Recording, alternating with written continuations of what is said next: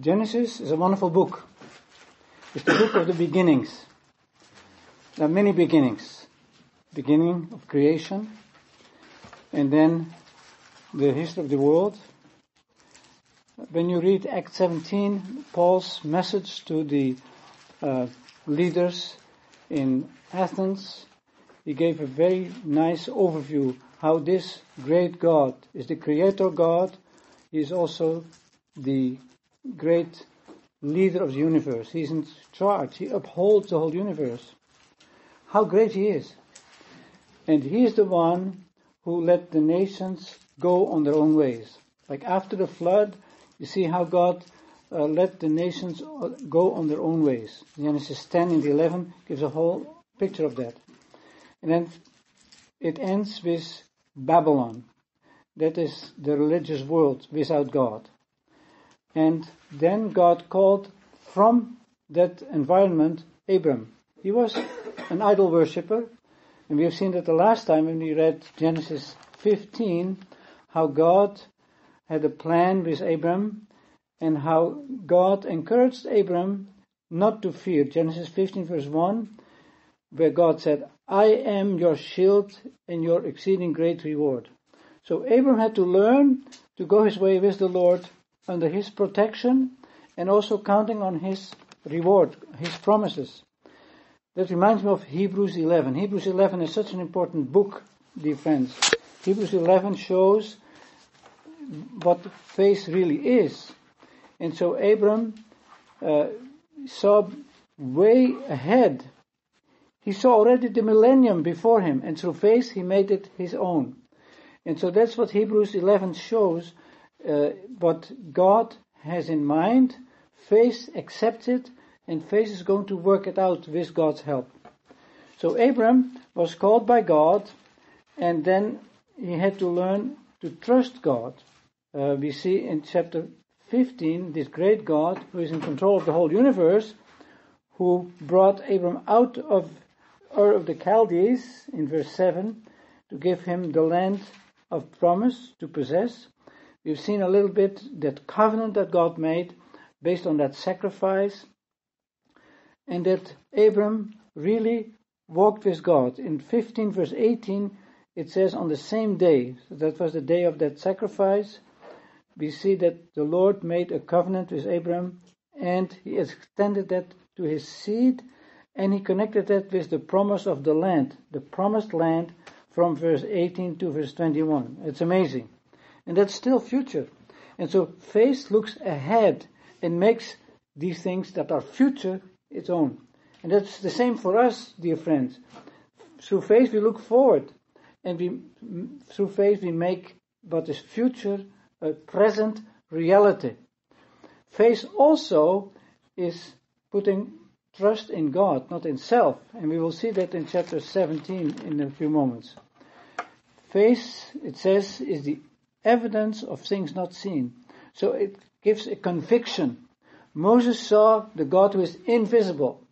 And so Abram also saw the God who is invisible. And he, uh, this God became a reality for him and it gave him conviction. Conviction to go out of the idolatrous environment, to give the conviction to go and travel all the way to the promised land. He had to put his trust in God. And when you study these chapters, it's amazing how God promised Abram very special things in Genesis 12 already, seven promises, and how God uh, was going to work these things out. But if you study that in detail, you see how Abram also failed. Abram is just like us.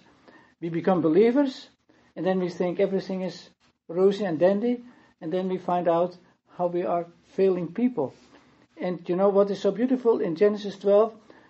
Where Abram failed, he went to Egypt. He even denied that Sarah was his wife, was his sister. That's a half truth, of course, but a half truth is something worse than a whole lie.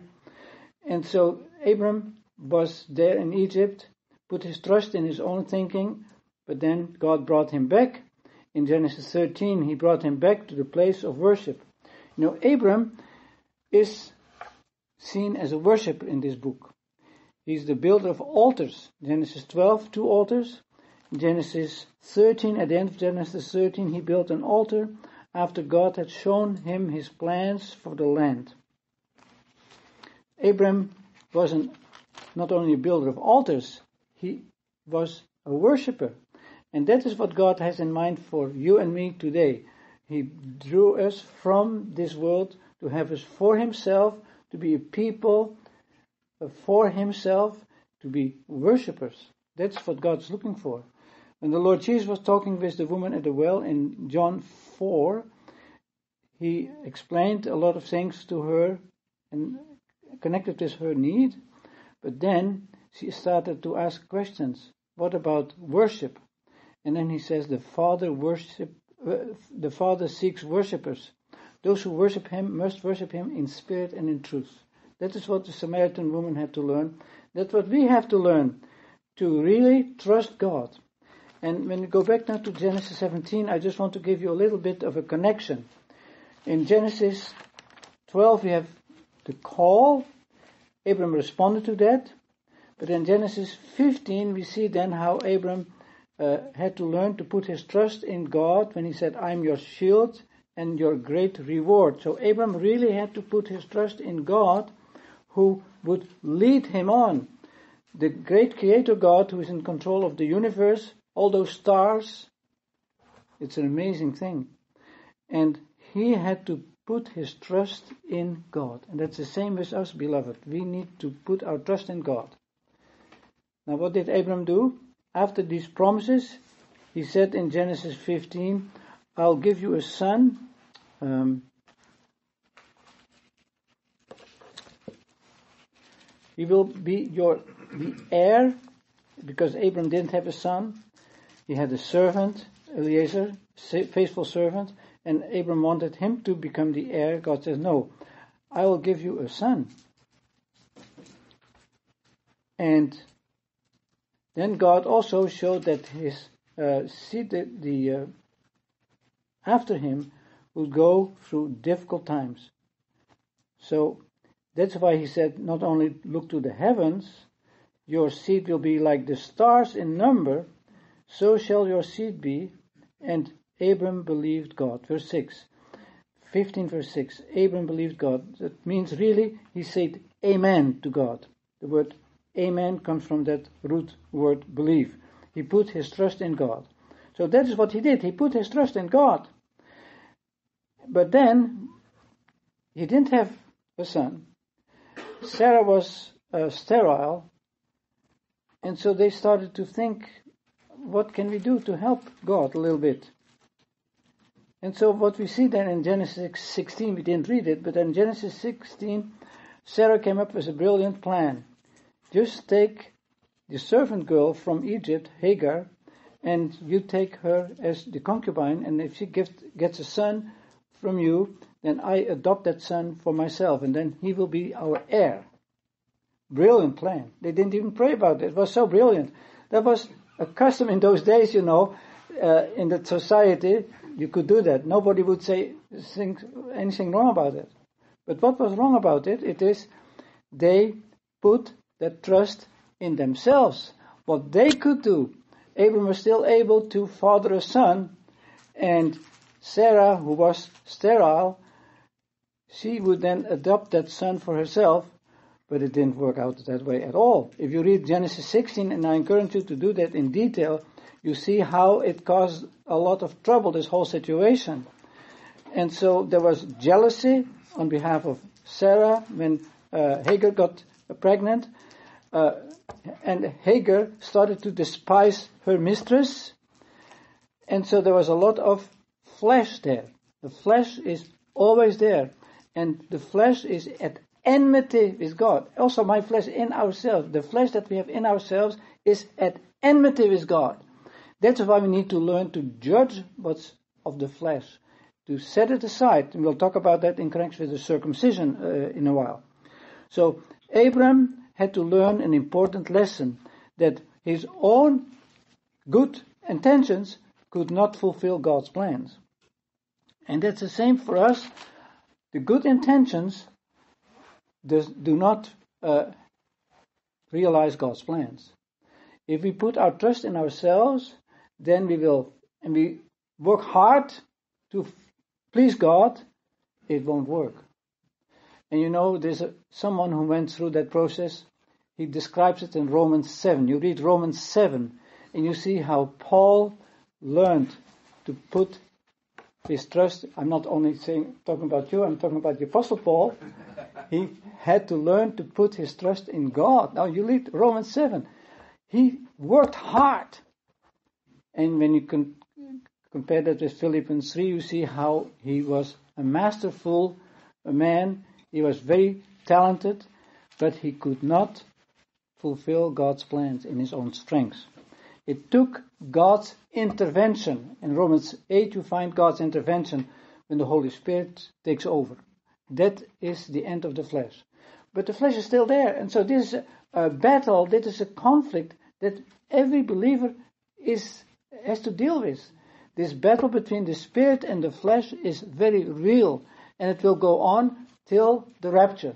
But God wants us to give the victory. He wants us to be under the control of the Holy Spirit so that the flesh will not rise its ugly head, but that the Holy Spirit may lead us. And what does the Holy Spirit do? He always introduces Christ. He always wants to set Christ before us using the scriptures. The Holy Spirit makes the Word of God real. And so, if we put our trust in this great God, then we can move forward. And that brings us then to Genesis 17, where we have read that Abram was now 99 years old. It's pretty old. He ultimately became 175. So it was not the end of Abram's story yet. but what is important at this moment God appeared to him in verse 1, I am. This is the great I am. And what does the great I am say? I am the Almighty. Now, in Genesis 14, when Abram met Melchizedek, Melchizedek was the king of Salem, but also the priest of the Most High God. Genesis 14, 18. The Most High God. You know, there's only one who is the most high, and that is Jehovah God. That is this great God who is the most high. And when you read Isaiah 13 and 14, you see there was one who wanted, was very jealous, that is Satan. Satan wanted to be like the Most High. Satan is very smart, but in his thinking he was very stupid. How can you be like the Most High. There can only be one Most High. You cannot have a second Most High. So that was really wrong thinking. And that led to his downfall. You can read Isaiah 13 about that. But here, my point is, Abram had to learn to put his trust in this most high God, who is in full control the whole universe but also the DNA code and all the small things. Everything is in his control. And so Abram now had to learn that this Most High is also the Almighty. And the two go together. Because the Most High is the one who will do what he wants to do. Not what I want, but what he wants. The Almighty is one who will realize his plans. It does not rely on my strength or my uh, intelligence. It relies on him. But we have to learn to put our trust in him. And that's why God says to Abram in chapter 17 verse 1, I am the Almighty God, walk before my face. So that means realize my presence. You are in my presence the word walk in the Old Testament, also the New Testament, implies our lifestyle. It implies what we are doing. It implies our actions, but it implies really everything. And that walk needs to be perfect. What does that mean? In tune with Him, in fellowship with Him. You know, the Lord Jesus said uh, in Matthew 5, at the end of the first part of the Sermon on the Mount there, uh, that His Father my Father is perfect. And he says to the disciples, now you must be perfect as well. So that is not uh, it doesn't mean absolute perfection. There's only one who is absolute perfect, that's God. We, we, we cannot be absolutely perfect. But what we can do, we can walk in tune with Him, in fellowship with Him, in agreement with Him, accepting His authority, accepting that He is really in control. And so that word perfect implies also integrity. It means that you are not trying to walk for two worlds. You don't walk for this world and at the same time for God's world. There is this integrity that means this focus. You focus on Him, on Him alone. That's what Paul learned in Philippians 3. If you make some notes, you study Philippians 3. And there you see how Paul was learning important lessons. He had tried to serve God in his own strength. He was perfect as far as the law was concerned. But then when he met the Lord in the glory, then everything changed for him.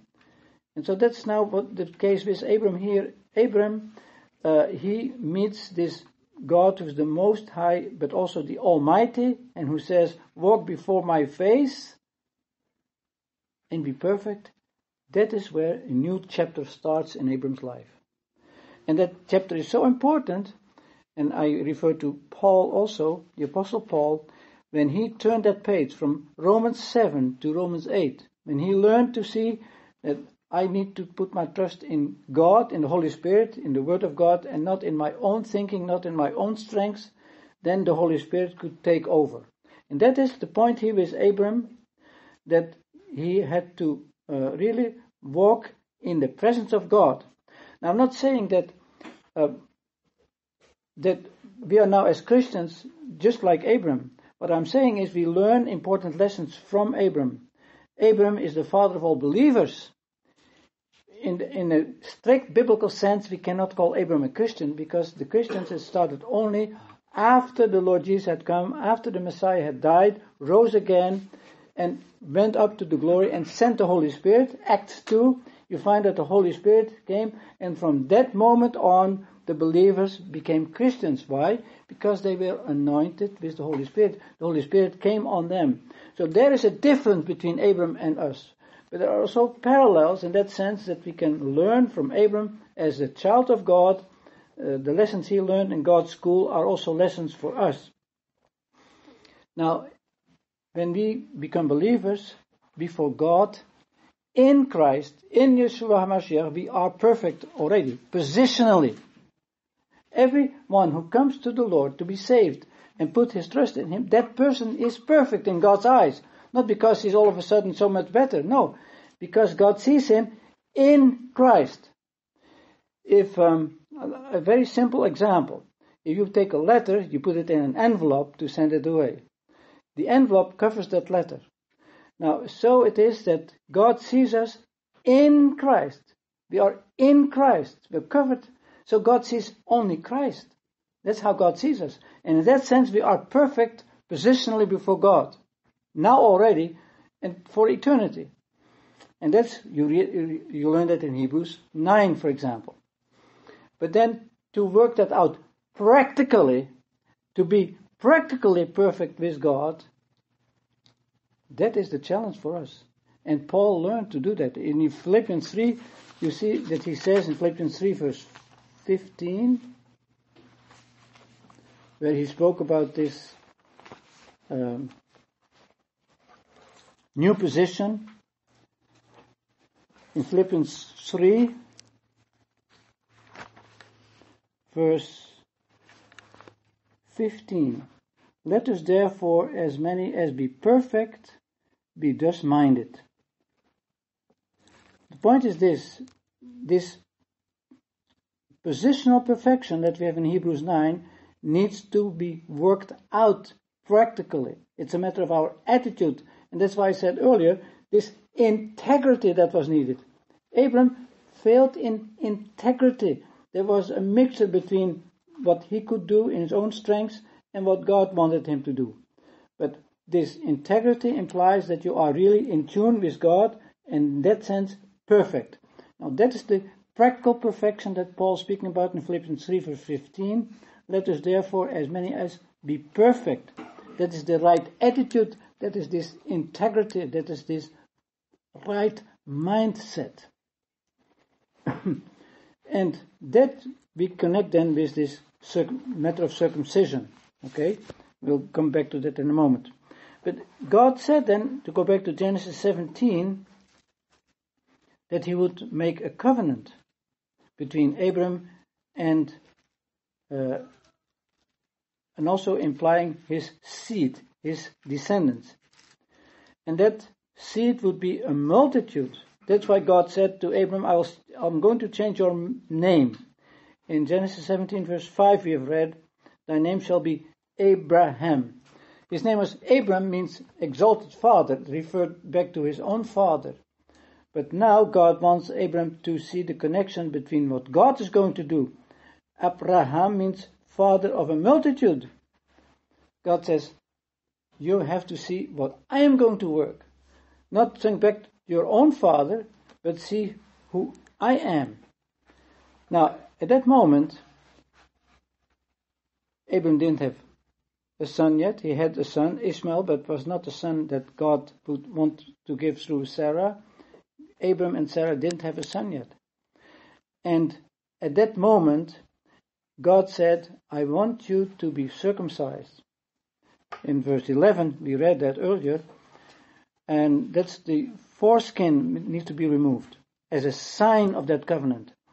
So that means Abram, all the efforts that he could produce, he had produced a son.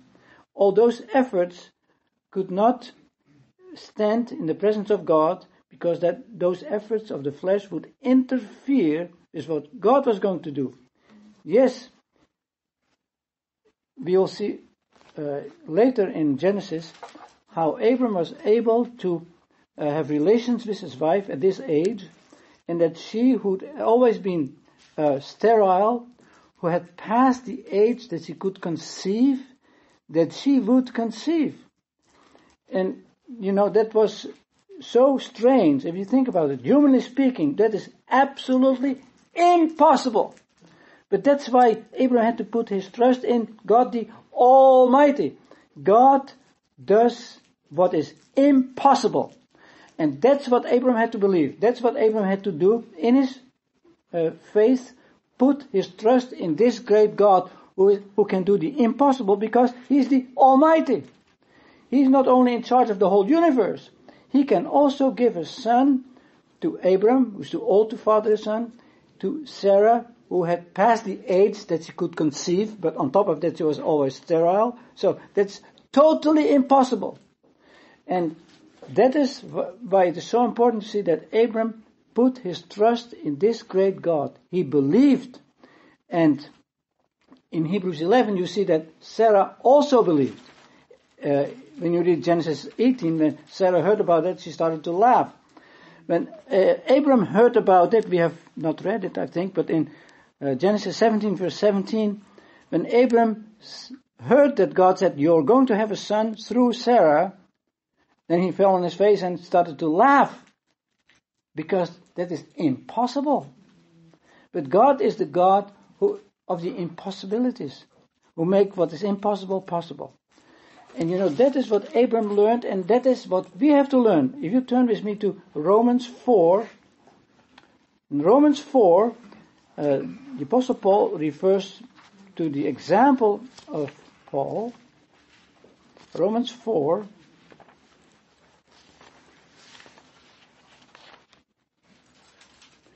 we read in Romans 4 that Abram is our father, so that's the father of the Jewish nation. But we also know that Abram is the father of all believers. We find it somewhere else. But my point is now uh, a little bit further in Romans 4, where Abram became the father of all believers, as I said earlier, not only of the Jewish descendants, but also of people uh, in verse 11. He received the sign of circumcision as a seal of the righteousness of faith which he had yet being uncircumcised. So Abram was not circumcised yet, but he put his trust in God, and God said, Now I give you a seal, a confirmation of this. You need to be circumcised. And as the circumcised, he became the father of them that believe. So he was the father of the circumcision in verse 12. And he was also the father of the believers from among the circumcision in verse 12, who follow Abram's example. But Abram was also an example for all those who would believe in God, just like Abram did in his uh, uncircumcised condition. Now, now the point of the greatness of Abram's faith in verse 17. Romans 4 verse 17. As it is written, I have made thee father of many nations before him whom he believed, even God who quickens the dead and calls those things which be not as though they were. So Abram put his trust in this Almighty God who can make things happen, who can make things that are not life alive, who brings them to life. And that is the kind of trust, the kind of faith Abram had. This is, from a human perspective, total nonsense. But from God's perspective, that's exactly what we need to do. To put our trust in Him who quickens the dead, who brings the dead to life. Sarah's womb was like that. Abram uh, had passed the age to gener- to uh, to have a son, and so from that perspective he was also dead. But God is able to give life in that condition. And just a little side note here, for us it was the same. The moment we believed, God brought us out of this spiritual death in which we were. You read Ephesians 2 verse 1. We were dead in trespasses and sins. But God changed that through faith. When we put our trust in Him. It, I can't explain it. This is a work of God. And beside that, what happened in Romans 4 verse 18, he believed against hope. He believed in hope. So that means from a human perspective, he could not father a son. Sarah could not get a son. That is against hope. But he put his trust in this God, and so he became a father of many nations. If you've read in Genesis 17, that was God's promise. And then Romans 4:19, being not weak in faith, he considered not his own body now dead. That's what I mentioned earlier. From a human perspective, he was not even able to uh, generate a son like he had done with Hagar. He was too old. Neither yet the deadness of Sarah's womb. So that is the condition in which they both were found. From a human perspective, it was not possible for them to have a son. But he was not weak in faith. It means he trusted God that God could do this. And in verse 20, he staggered not at the promise. So he was not wavering, but what he did, through unbelief, he was strong in faith. So God empowered him. God gave him the strength of this kind of faith. So he was not marked by unbelief, like initially he started to laugh when God was talking about it, but now he had faith. And not only that, he gave glory to God. In the end of verse 20, notice this. He gave glory to God. And that's an important element for us also. If we see that God is doing the impossible, then we can give glory to God. And the seventh point is in verse 21. He was fully persuaded. This conviction that goes together with faith, as I mentioned earlier, this conviction leads to this persuasion. He was persuaded that he that had promised was able also to perform. When God says to Abram, I'll make you the father of many nations. God, Abram put his trust in God because he realized that God was going to perform what he had promised. So that is the seventh point of verse 21. And these lessons that Abram had to learn, we have to learn today, dear friends.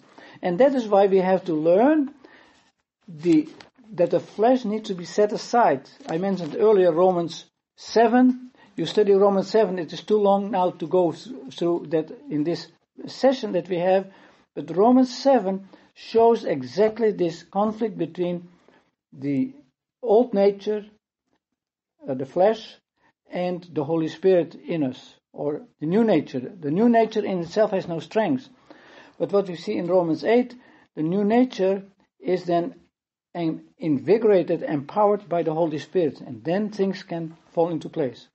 So when we surrender to God, when we realize that in ourselves we have no strength, then God can take over. And that's what you find in Romans 8, with the work of the Holy Spirit, and that's what we find also in um, Philippians 3. I mentioned earlier Philippians 3 as an example for us, but I just want to read Philippians 3 verse 3. That seems to be difficult, but I'll try to explain that. Philippians 3 verse 3.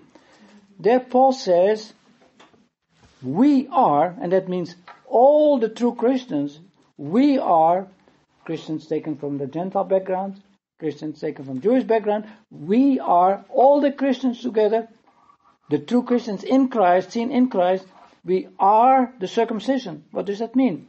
Circumcision means the flesh set aside. So this action in Abram's foreskin, that a little piece of foreskin needs to be removed, that is a symbol. It illustrates this point that the flesh needs to be removed. And that can only be done in the, uh, in the power of the Holy Spirit, not through our own strength. Some people want to crucify themselves or they want to do all kind of things to remove the flesh. It won't work. It takes the activity of the Spirit of God and of faith at the same time, of course. And that's why Philippians 3 is so important. We are the circumcision. That means we are believers who have learned to see that we cannot put our trust in ourselves, but we need to put our trust in God. And as a result, I mentioned earlier that Abram gave thanks. That is in Philippians 3, not only giving thanks, but he says, worship God in the Spirit. So the Holy Spirit will then lead us on to serve God as worshippers. And that goes together with this point that he mentioned, and have no confidence in the flesh. So, we rejoice in Christ Jesus, we boast in Him, that's our activity of worshippers, but at the same time, it's an ongoing exercise to not put confidence in the flesh. Philippians 3 3 is really a key verse in this. So when we go back to Genesis 17, we have these instructions there, how God uh, showed Abram what he needed to do, and then God connected this promise of this everlasting covenant. So God commits himself forever. This expression, everlasting covenant, is found 16 times, I think, in the Old Testament. The idea of a covenant is that God commits himself. He commits himself to Abram and his uh, descendants. And in the New Testament, we see how God has committed himself to the believers.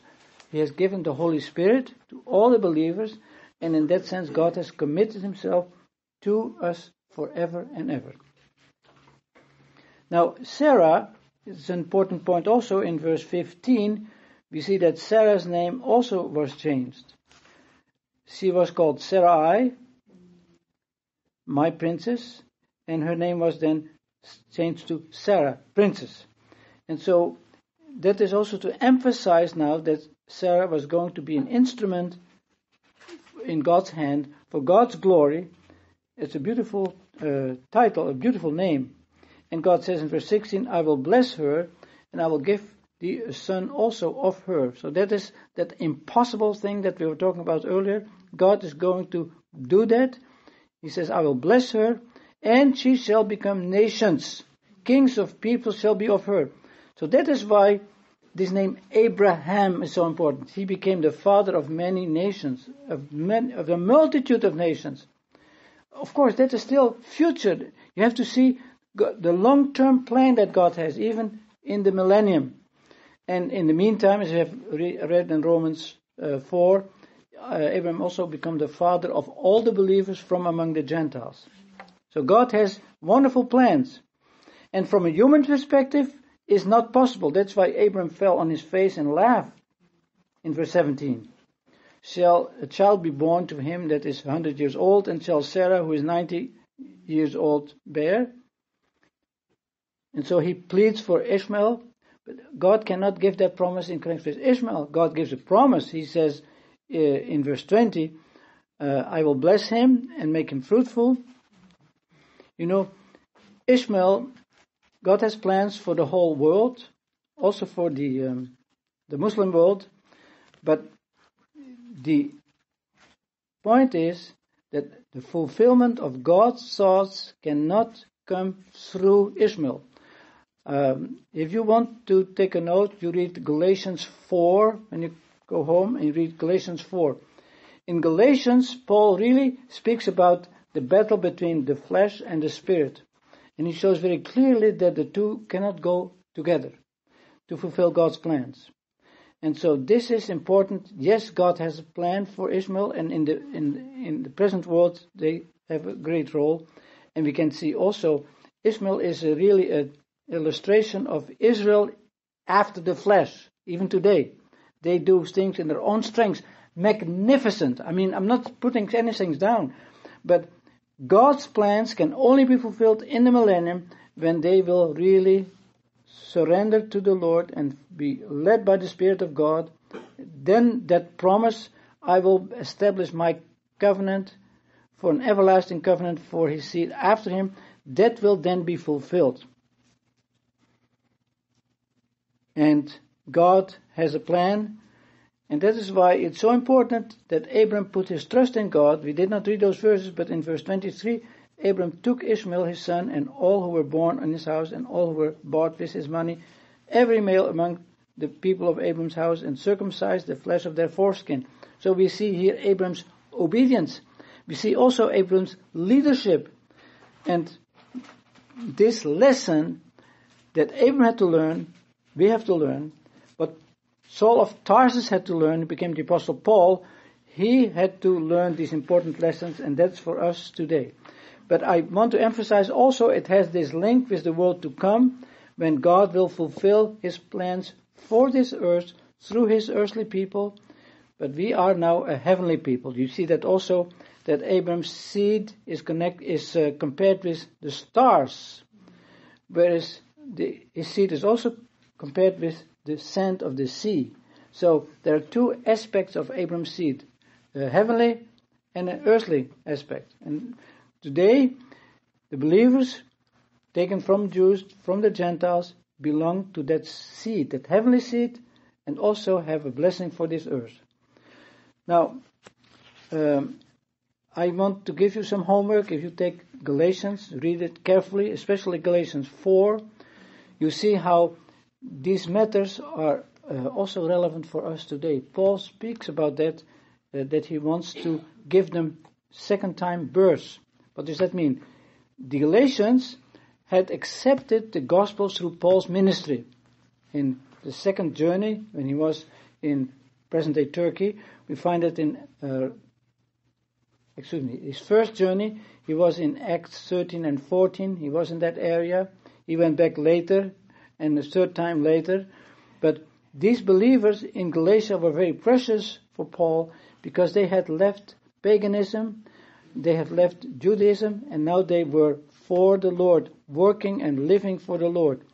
But immediately the enemy attacked them. The enemy wanted to bring them under the law. The enemy wanted to bring them uh, in, a, in a condition so that they would not be happy. They would quarrel. They would bite each other, just like this conflict that uh, that we saw earlier between Sarah and uh, Hagar. There were all kind of things. And so Paul says in Galatians 4, I want you to, I want to give birth to you a second time. He had given birth to them when they became believers, but then he says, and that's why he said, you read Galatians 4 in detail and you see, you find that for yourself, how important that point is. Paul wanted to give birth to them a second time. Why? He wanted that Christ would be great. I will just read that key verse in Galatians 4, where he says, My little children, verse 19, my little children. So he's speaking here about to the believers who have become children of God, and Paul looks at them as his own little children. And he says in verse 19, Of whom I travail. So if a mother gives birth to a child, she's in travail to give birth to that child. And so Paul had gone through very great difficulties. You read in uh, Acts 14 how he was stoned to death and then he was brought back to life and then he continued his gospel ministry with, um, with Silas who was with him and Timothy and he continued on. And then he reached Derbe and Iconium and uh, Lystra where the area where Timothy was. Timothy's grandmother got saved, his mother got saved, and then through them, or maybe also directly to Paul, we don't know for sure, but Paul speaks about Timothy of his as being his own child. And so my point is, these people became believers, but now they were under the attack of the enemy. The attack was he wanted to uh, place something beside the Lord Jesus. He wanted to uh, distract them. This uh, this sincerity, this integrity that we walk in the light with God, the enemy is always attacking that. And so Paul is now in travail. He wants to give birth a second time that Christ may be formed in you. Galatians 4:19. That is so important. He was like a mother in travail a second time so that Christ would be formed in them. So they were already believers, but now Paul was so much concerned about them, he wanted Christ to become greater. And that's the desire the Lord has for each one, each one of us. He wants that Christ may become greater. That Christ may be formed. This word formed is morphe, so that is formation. God takes his time to form Christ in our lives. He takes his time. Some of us are very young in the faith, some of us are much older, but God is at work in each one of us. He is forming Christ. He wants to see Christ and nothing else. So God is at work through His Spirit, also in each one of us, to, to do that.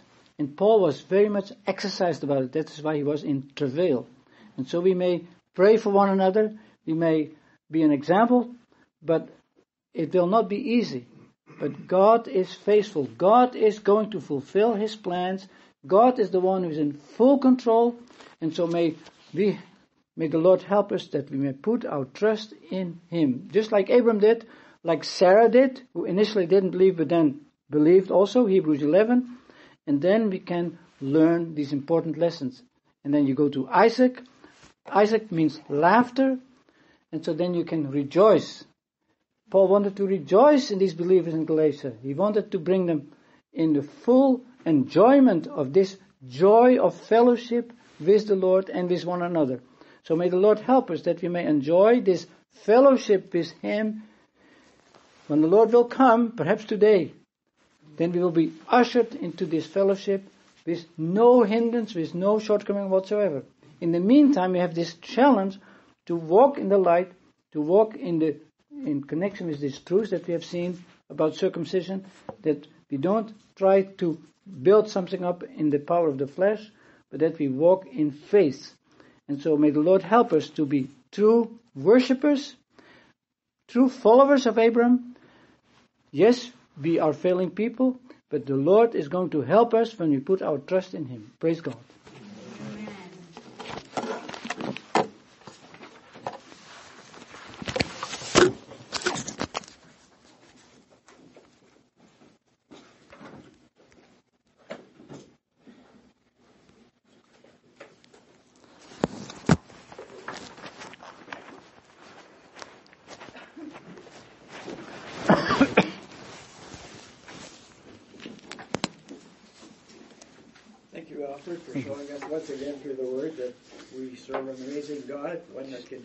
Impossible, what we consider to be impossible, but yeah. is not impossible. For Him, yeah. Thank you. We always look forward to having you with us. I understand the next time you'll be with us is when Gideon goes to on his tour. Is that correct? Probably. Yes, Lord willing. Uh-huh. Yes.